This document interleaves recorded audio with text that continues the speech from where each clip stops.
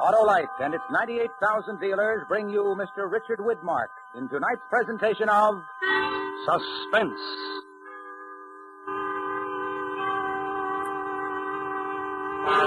Tonight, as Suspense begins its 11th year on the air, Autolite presents the dramatic recreation of an exciting historical event, A Message to Garcia. Our star, Mr. Richard Widmark.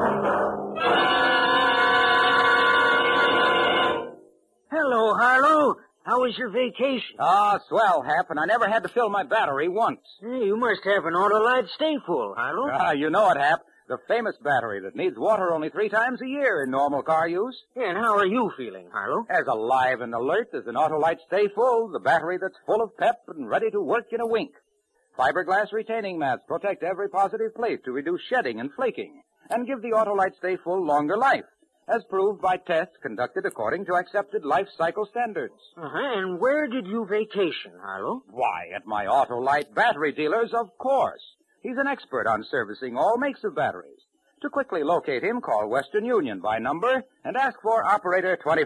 I'll gladly tell you the name of your nearest Autolite battery dealer, where you can get an Autolite Stay Full, the battery that needs water only three times a year in normal car use. And remember, from bumper to tail light, you're always right with Autolite. And now, Autolite presents transcribed A Message to Garcia, starring Mr. Richard Widmark, hoping once again to keep you in suspense.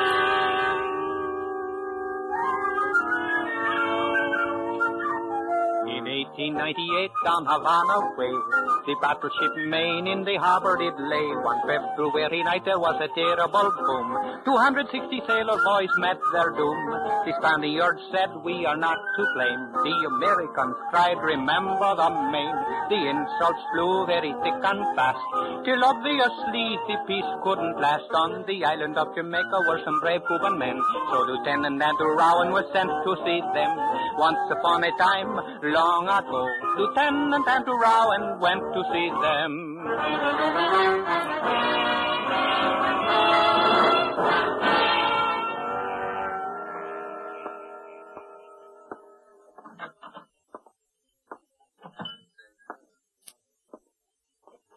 Oh, Rowan, over this way. I was just beginning to wonder if you'd gotten lost. Hello, Mr. Carter. Sit down. Thank you. I took the liberty of ordering you a drink before dinner. Best rum in Jamaica. Thanks. Well, this looks like quite a place. American consul's job to see that tourists are introduced to interesting places Uh-huh. and to point out uh, interesting people. This is a sort of diplomatic hangout. Oh, that's the German consul over there and the Spanish charge d'affaires at that table. I see. The only other person you should know is the man sitting by himself near the window. He's Cuban, an exiled patriot. His name is Dr. Jose Rubio. Now, uh, pick up your menu. I've got a good look. He's the one? I'm not positive, but everything I've found out points to Rubio. It'll take more time to make sure. How much more time? Another two days at least. Then the quick way to make sure is to talk to him. The quick way, yes, but... Huh? Of course, that's up to you. How do I reach him? 474 Perch Street. Just be careful. Everyone knows Jamaica's the jumping off place for Cuba. The Spanish could be watching him, too. Thanks, Mr. Carter. And if we don't see each other again, cable Washington. I'm on my way. Oh, the uh, Spaniard's leaving. He'll walk past us.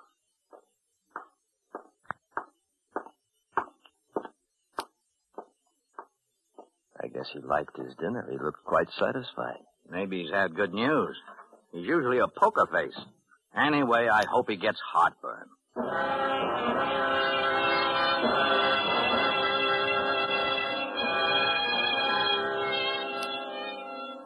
Jamaica was the edge of it. My desk in the War Department back in Washington seemed a million miles away. It had taken two days to sift through the Cubans in Jamaica and come up with Dr. Rubio. When it got dark, I left my tourist hotel and I went to Perch Street. I hadn't had time to feel scared. I knew my orders weren't simple, but it began to catch up to me now.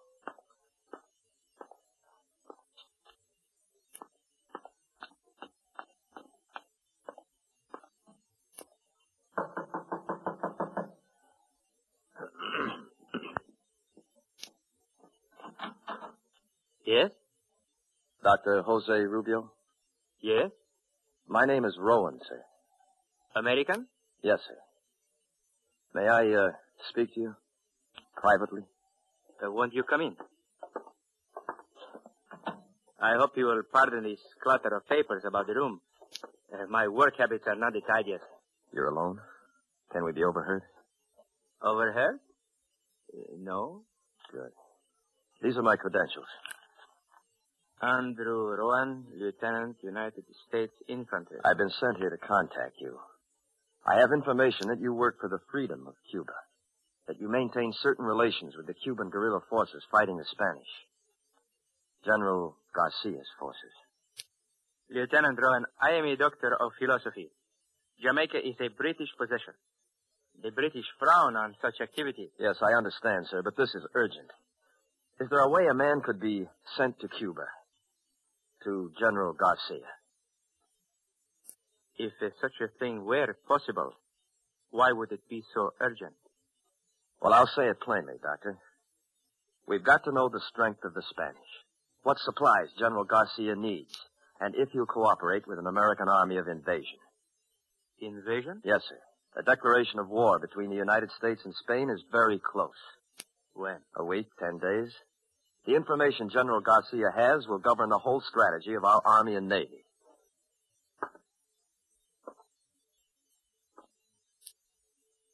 You should have come a long time ago, Lieutenant. When the cause of Cuban independence first needed help. Maybe so, sir, but I don't make policy. I will tell you truthfully. I do not know of what assistance I can be. The Spanish have suddenly become very strong. They used this new force to press General Garcia tremendously. Well, if you could get me to him, sir, I, I'm sure I that... want to get you to him, Lieutenant. I have received no word from Cuba in six weeks. I am not sure where General Garcia is. I'm not sure even that my communications are still secret. Is there any proof that they're not? No, unless silence is proof. I want to help you, Lieutenant, but you must know the risk to me, to you, to Garcia. I'm ordered to get to the general, sir. If you're the only way, You like to fish, Lieutenant? how's that, sir? Fish. Out to sea in a boat. I have a friend who knows all the best fishing places between here and Cuba. Oh, yes, sir. I like to fish. When can you be ready? I'm ready now, sir. How about tonight? It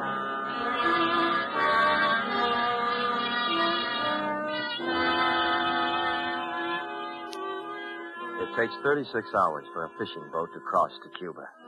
I burned my identification papers and we left the house. The night was warm. There was a moon and the streets were empty. We walked toward the waterfront and Dr. Rubio told me all he could. The place you will land is called Gran Rincon. Just into the jungle is a house.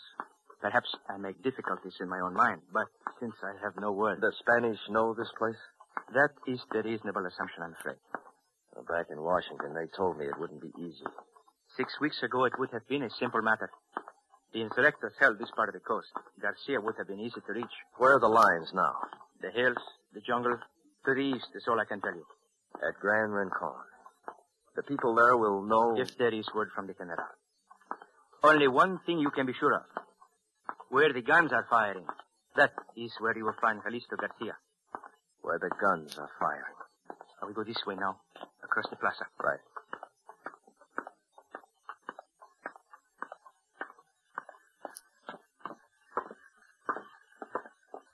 The third fishing boat. That is my friend. Mm. Even if you couldn't see it, you could smell it. Servacio! Servacio! I'm here.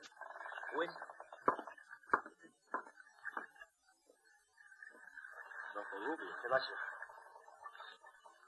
Eh, the dogs are busy tonight. Can you say? As long as there's wind. That man. To Gran Rincon. Rincon. I will take him then. But, but sure. It is urgent. It must be done. He is American. His country sends him to Garcia for Cuba Libre. Americano, come aboard.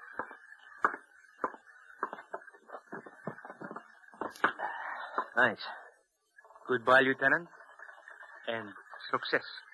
This is my first trip to Cuba, Doctor. I'll have beginner's luck.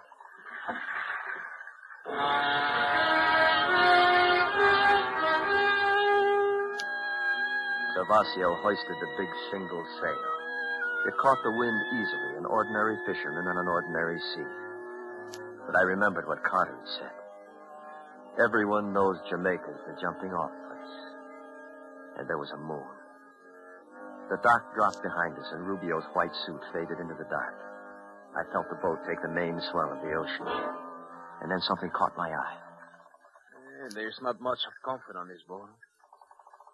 What do you look at? That light at the edge of town, the way it blinks. Huh? Huh. Shimmer of the air. I watched it. Maybe it was my eye that the blink seemed more than just a shimmering in damp night air. Then it went out. And somewhere behind us. Servasio, you hear it? A steam launch. Supply boat for one of the plantations. You sleep. I will sail. I stretched out on a pile of fishnets and I listened. The sound disappeared in the night. And we were alone on an empty sea.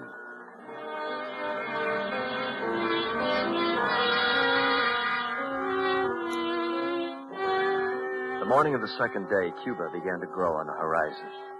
By late afternoon, we were close inshore, sailing eastward. I watched the jungle.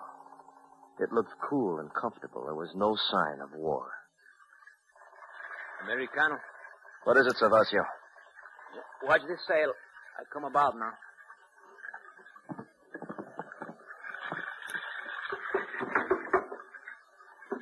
You're in Cuba, Americano.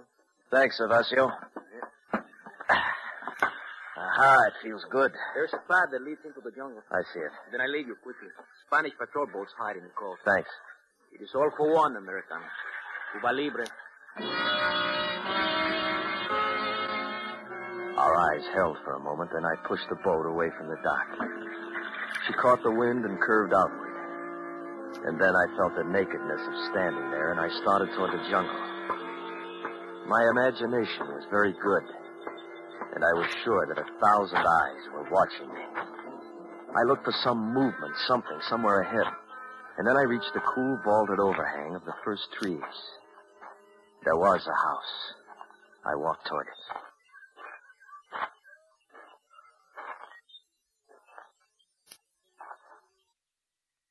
Hello.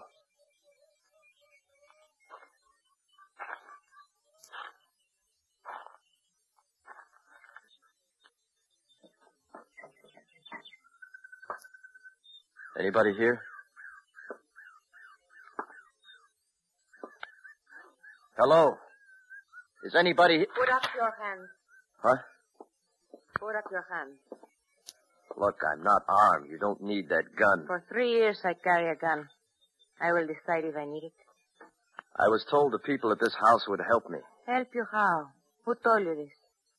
Dr. Jose Rubio. Come in, Jean. Teresa. Who is it, Teresa? He says Rubio sent him. Rubio? I watch you come from the boat.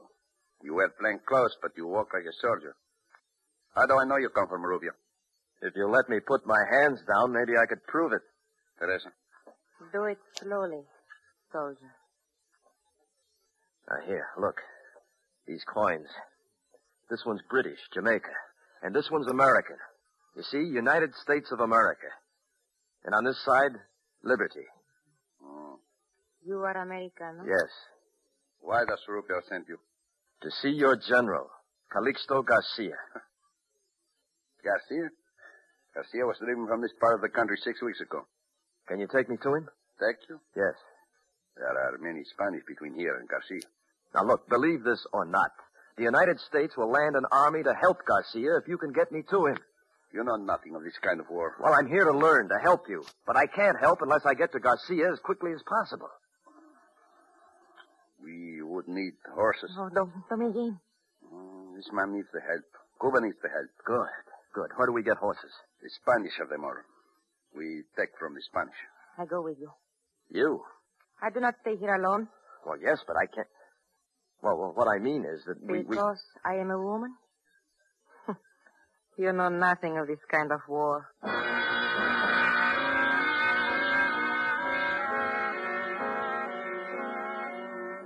The sun was almost down when we left, and the jungle had filled with shadows. I walked between them. Dominguez in front, Teresa behind. Dominguez carried a machete.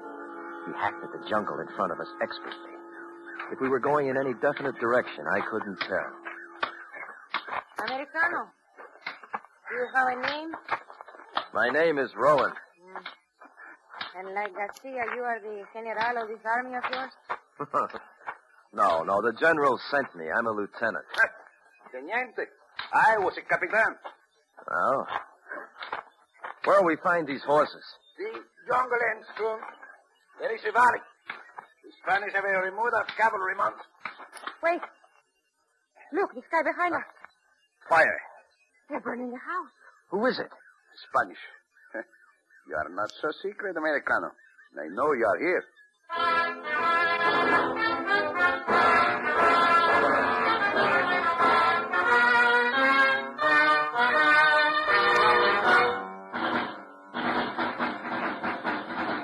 Is bringing you Mr. Richard Widmark in A Message to Garcia. Tonight's presentation in radio's outstanding theater of thrills, Suspense.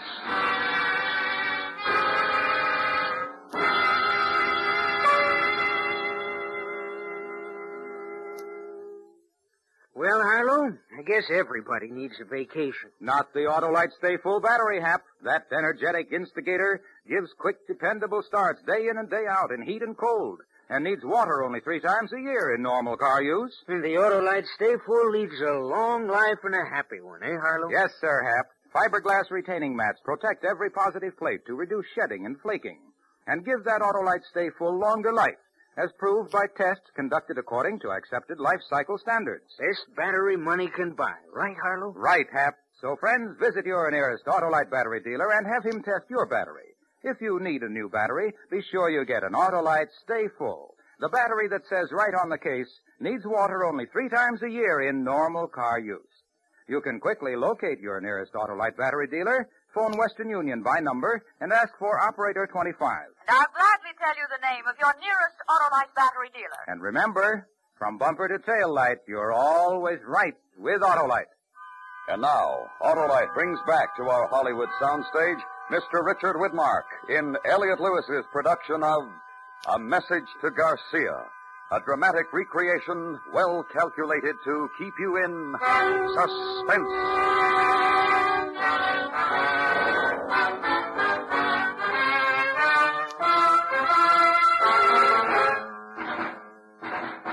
Who is it? Spanish. This way, this way.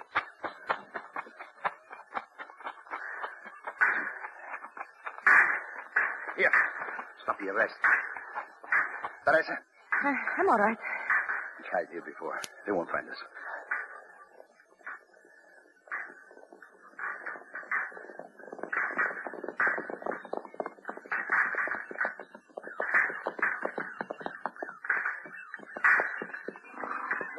Aquí. Mejor regresar a la casita. They think they're shooting at us off there. Rowan, Yeah? you sure you're not the general of your army? You seem to be very important to them. I don't understand. How could they have found out about, About this whole- you? the Spanish are more clever than you think. Yes. I'm, uh, I'm very sorry about the house. In this war, a burning house is nothing.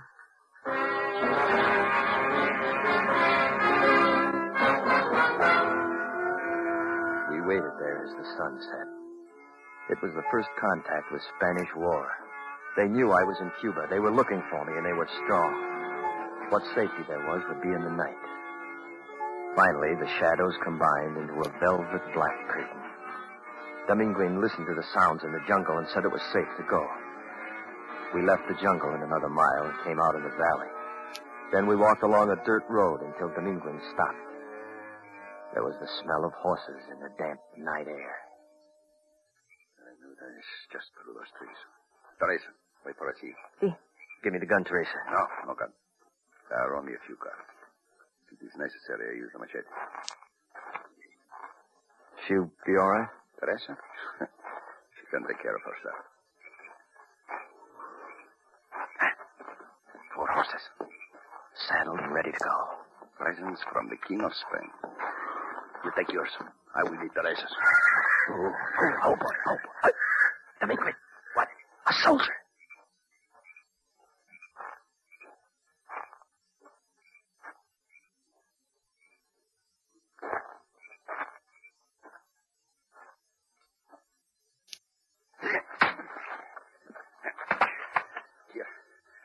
Drag him out of the way. Right.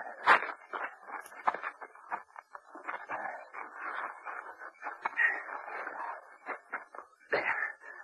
While you wait, get the horses. I. I. Yes. You learn about the war? Yes, I learned. Easy, boy. Easy.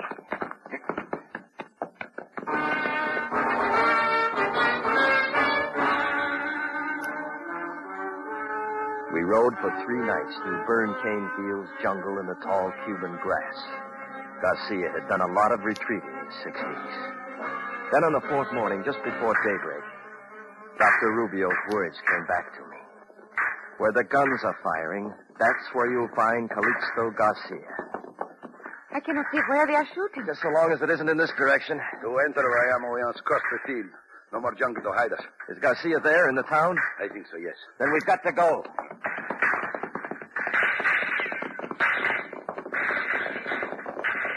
We bent low and raced for the town. And as soon as we rode into the open, the Spaniards saw us. Little puffs of dirt kicked up all around us. I felt as if the town would never get close. And then finally, Ha ha! We make it. Welcome to Bayamo. Uh, you You people! hello. Uh, you crazy? You never should have made it across that field. Well, we, we didn't have much choice. I want to see General Garcia. You want to fight, I will give you guns. This man is Americano. He is same by his see ours. Americano. Ah. all right, Americano. Now come with me.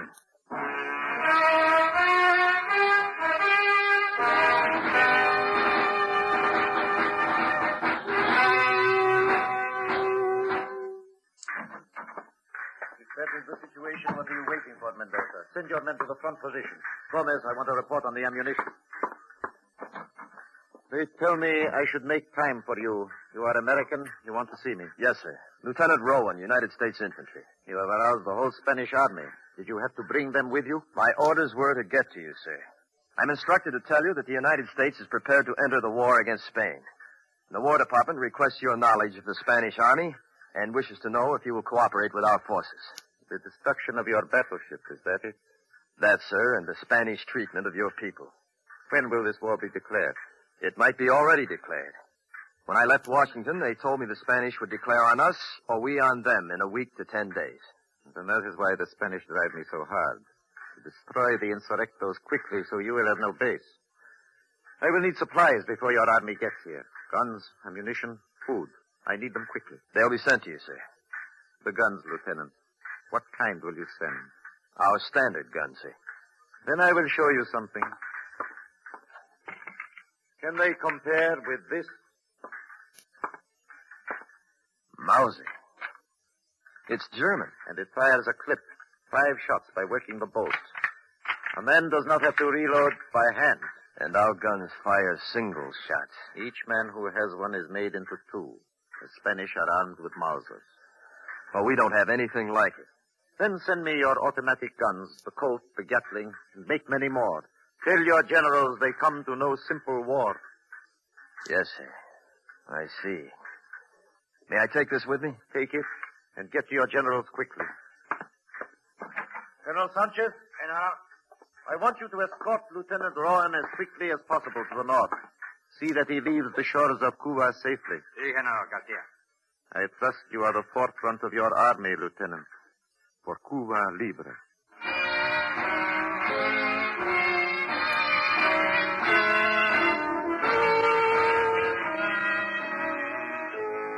Colonel Sanchez took me to food. And again there was the waiting for the night. I watched the Mauser in action, and the Spanish knew how to use them. It was no simple war. As the shadows began to lengthen, the fighting died down. Sanchez picked three men, and we started north. There was luck, and we reached the ocean in two days. The boat is not much, but at least it does not leak. Thanks, Sanchez. With the good wind, you should make the British island of Inagua tomorrow. We will be waiting for your army. It'll be here. Cuba Libre.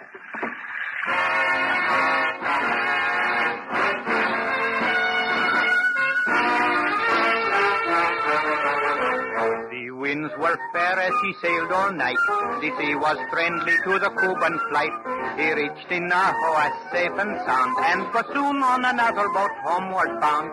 The generals were told what he had to say, and it all brought the victory of Cuba Libre.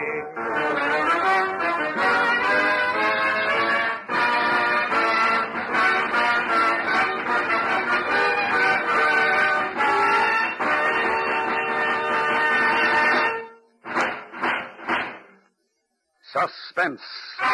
Presented by Autolite. Tonight's star, Richard Widmark, will return in just a moment. This is Harlow Wilcox speaking for Autolite, the world's largest independent manufacturer of automotive electrical equipment. In 28 plants from coast to coast, Autolite makes over 400 products for cars, trucks, tractors, planes, boats, and industry. These products include batteries, such as the famous Autolite Stay Full, ignition engineered Autolite spark plugs, both standard and resistor types, Autolite starting motors, generators, coils, distributors, voltage regulators, wire and battery cable, and Autolite original service parts for all Autolite electrical systems. Autolite is proud to serve the greatest names in the industry. So, from bumper to tail light, you're always right with Autolite.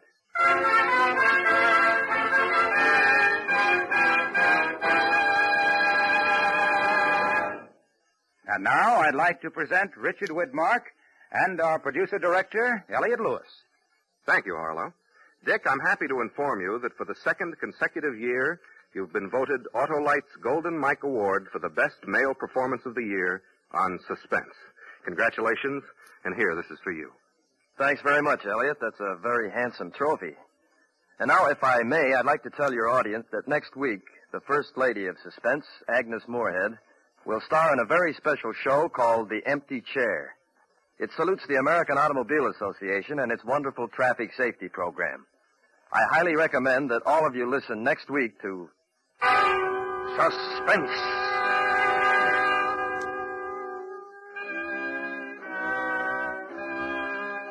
Suspense is produced and directed by Elliot Lewis, with music composed by René Garriguenc and conducted by Lud Gluskin. Portions of this program were transcribed. A Message to Garcia was adapted for Suspense by Richard Chandley. Featured in tonight's cast were Anthony Barrett, Joseph Kearns, Lillian Buyeff, Jack Kruschen, Ted de Corsia, and Edgar Barrier. Our singer was Ernest Newton. Richard Widmark appeared through the courtesy of 20th Century Fox, producers of the Technicolor production The Robe in CinemaScope. No special glasses needed. World premiere in New York September 16th, in Los Angeles on the 24th. And remember next week, Miss Agnes Moorehead in The Empty Chair.